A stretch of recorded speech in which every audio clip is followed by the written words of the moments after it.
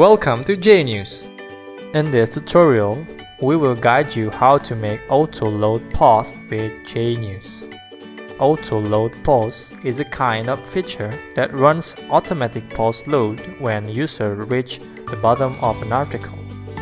First, we need to install JNews Auto-Load Post plugin.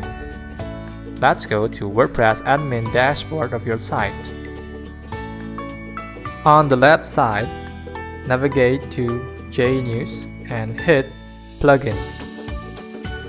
On the JNews plugin dashboard, find JNews Auto Load Post plugin and activate it.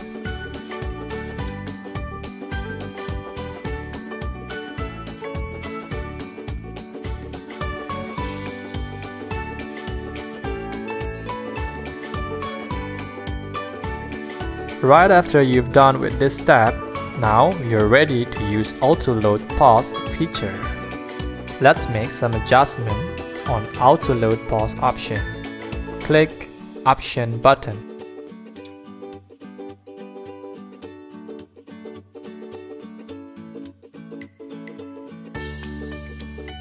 Here, you need to take care with attention regarding to the usage of Auto Load Post feature.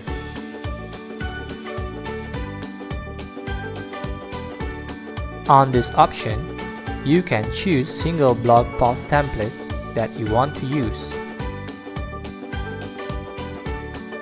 Then, on this option, you can choose single blog post layout that you want to use. On the last option, you can choose to show or hide the comment on the single post page.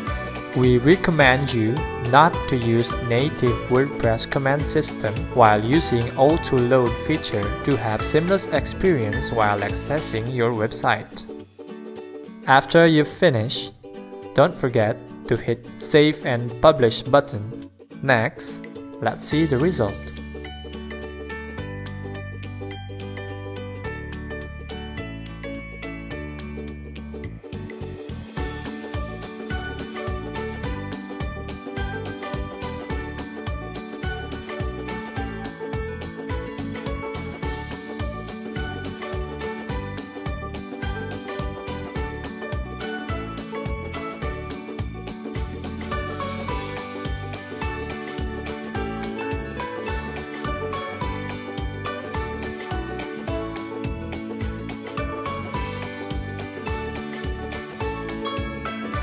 And finally, we're finished setting up auto-load posts with JNews. Please check video description for more complete information and sources.